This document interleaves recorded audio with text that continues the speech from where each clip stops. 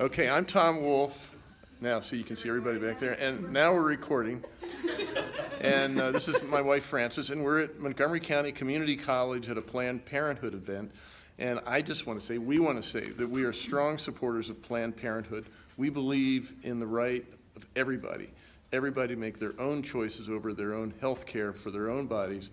And that's why we're strong supporters of Planned Parenthood and very proud to be here today.